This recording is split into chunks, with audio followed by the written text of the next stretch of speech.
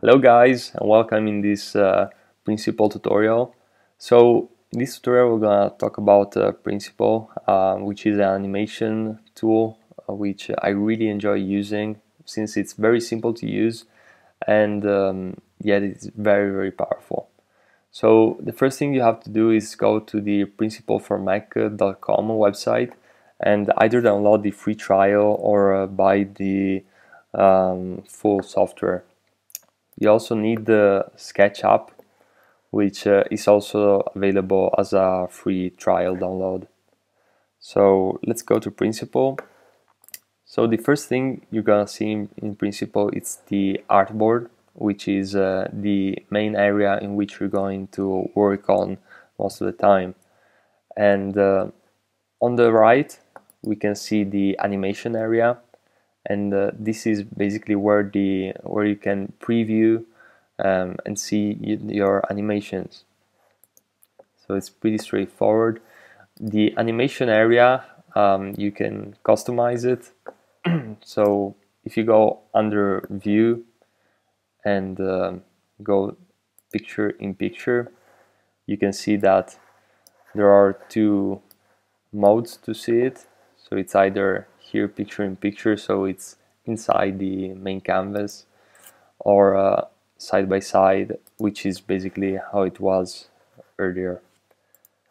On the top we can see the main area in which um, you can find the, the basic options so here we have an option to create a rectangle, a text, um, another one to add an artboard and uh, here is uh, very useful it's a import option so that you can import directly your files from, from Sketch.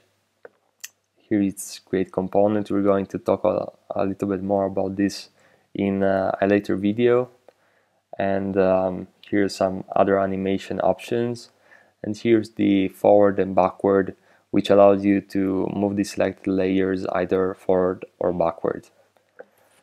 On the left, we can see the um, basic options that uh, allow you to to scale the objects, uh, move them uh, around the x or y axis, and um, some other pretty straightforward options such as modifying the fill or the stroke, adding a shadow, and um, here's some animation options.